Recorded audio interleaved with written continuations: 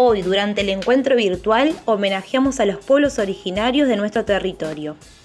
En muchas comunidades es común reunirse para compartir diversas celebraciones. En ocasiones se utilizan máscaras e instrumentos.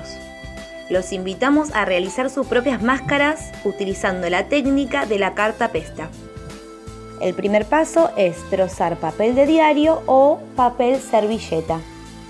Con un pincel pintamos la máscara con plasticola y agua. Cubrimos toda la superficie con papeles, realizando 4 o 5 capas. Dejamos secar la máscara y una vez que esté seca ya está lista para poder pintar y dibujar.